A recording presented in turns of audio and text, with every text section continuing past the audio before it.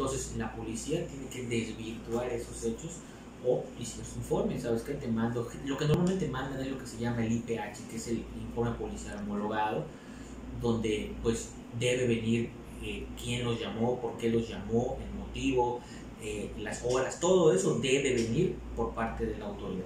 Pero pues mm, tenemos que esperar a que contesten para. En caso de no cumplir con, con, este informe o de que su informe presente irregularidades, ustedes entonces, ¿qué es lo que hacen? Exactamente, son do, dos cuestiones distintas. Se le da un término para que cumpla. La ley nos da hasta 15 días para otorgarle a la, la, la, policía municipal en este caso. Si no responden ese término, la ley nos dice que le podemos solicitar, este, un, más que nada, mandar un recordatorio de informe. ¿ok? Supongamos. No contestan, por lo mismo, se le manda otro recordatorio.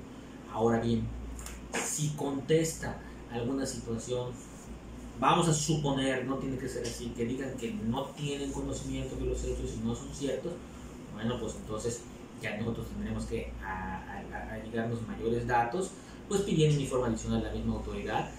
También los quejosos nos tienen que ayudar trayendo sus testigos, ¿sí? diciendo, ¿saben qué? Porque siempre hay testigos, siempre hay testigos que digan que sí vimos al policía número uno, al policía número dos, a la unidad con placas, con número económico tal o con placas tal.